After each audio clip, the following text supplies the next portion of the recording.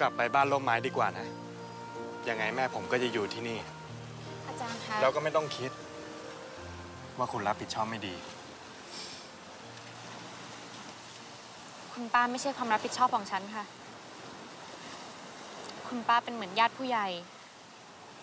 เป็นคนที่ให้ความเมตตากับฉัน เหมือนคุณตาคุณยายทุกๆคนในบ้านร่มไม้ ฉันถึงรักท่าน อยากจะดูแลท่าน ฉันไม่เคยคิดว่ามันเป็นหน้าที่เลยค่ะ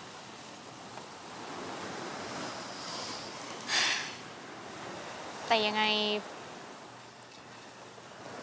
ฉันก็ต้องเคารพการตัดสินใจของคุณป้า ฉันไปก่อนนะคะ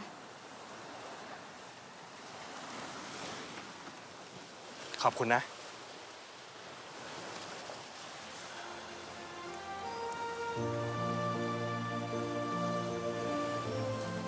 ขอบคุณสำหรับความรัก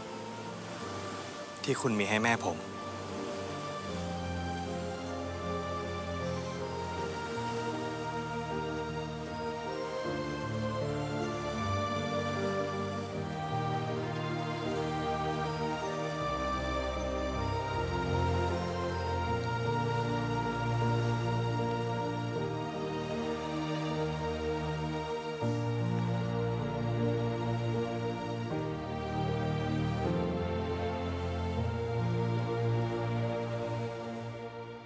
ดพร้อมกันทาง ทีวี เว็บไซต์ CH3 Thailand Application ย้อนหลังที่ Mello.me และ YouTube CH3 Thailand ไม่พลาดทุกการอัปเดตบน digital platform CH3 Thailand